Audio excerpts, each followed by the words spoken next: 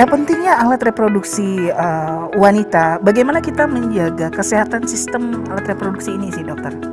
Ya, jadi uh, karena alat reproduksi pada wanita itu sangat sekali dekat sekali dengan yang namanya anus.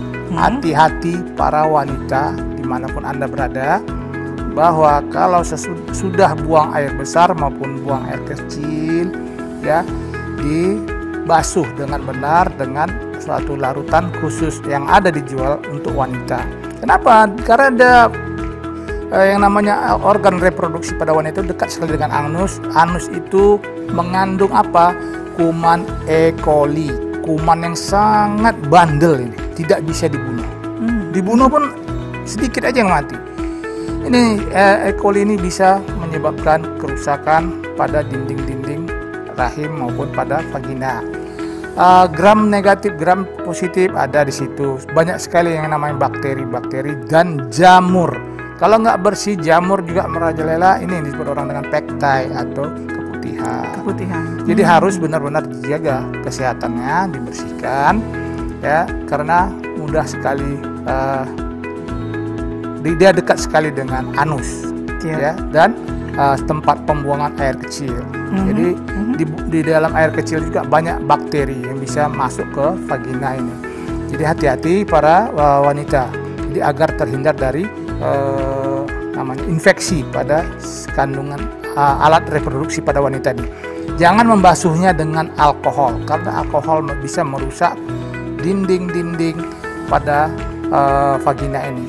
Ya bisa terjadi iritasi hmm ya bisa menyebabkan luka. Mm-hmm. Ya, Kalau jadi, sabun yang mengandung min dok, ah, gimana dok? Jadi uh, belilah sabun yang mengandung kuman yang atau uh, bakteri uh, yang ramah dengan lingkungan, ya. Di, karena di dalam kuman uh, di dalam uh, vagina itu sendiri ada kuman, ya, yang menjaga uh, lingkungan vagina itu tetap terjaga, tidak terinfeksi. Jadi kuman lawan kuman. Jadi ada itu dijual alatnya itu apa uh, obatnya itu mm-hmm. untuk pembersih vagina. Nah, kemudian jangan dikasih pewangi. Pewangi itu ada alkohol yang bisa merusak dinding-dinding uh, apa uh, vagina. Kemudian jangan dikasih, dikasih antiseptik. Antiseptik ini bisa membunuh flora normal di situ, mm-hmm. yaitu kuman-kuman yang normal situ. Uh, kemudian untuk menjaganya lagi uh, konsumsilah makanan yang sehat agar energi itu meningkat pada tubuh wanita ya. Seperti apa? Makanlah makanan lemak yang sehat dan kemudian antioksidan yang sangat kuat mm-hmm. yang ada di dalam herbal soman antioksidannya ini dari mulai dari vitamin C, vitamin A, vitamin E dan sebagainya probiotik alami kemudian adanya uh, logam, mm-hmm. mineral dan sebagainya yeah. inilah yang menjaga uh, kesehatan dari sistem reproduksi pada wanita. Ya, kemudian apalagi uh, dari buah dan sayur dan rempah, daging, ya daging kalau dimakan proteinnya itu diambil ya seperti ikan, daging.